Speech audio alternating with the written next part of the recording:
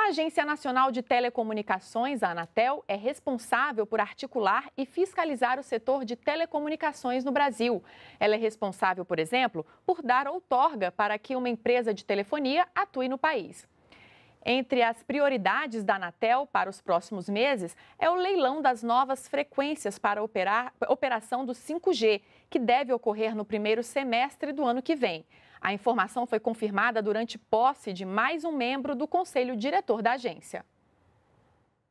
Entre os desafios a serem enfrentados pela Agência Nacional de Telecomunicações em 2021 está o leilão 5G.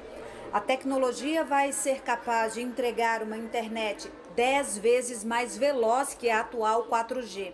A expectativa é que a chegada da 5G possa democratizar o acesso dos brasileiros à internet e melhorar a qualidade dos serviços. Não é só aumento de potência, né? ele traz novas é, tecnologias, o, vai ter telemedicina, você vai poder fazer, o médico vai poder fazer cirurgia à distância, você irá ver realmente veículos autônomos funcionando na rua. O Brasil ainda tem gaps de conectividade, e esse leilão é uma oportunidade singular de fazer valer políticas públicas. Durante a cerimônia, o ministro das Comunicações, Fábio Faria, lembrou a atuação da Anatel durante a pandemia.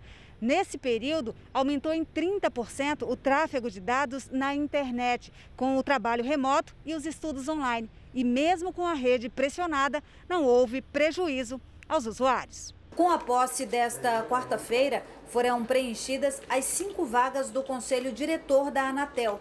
O novo conselheiro é Carlos Baigorre, servidor de carreira, formado em economia e com bastante experiência na área de telecomunicações.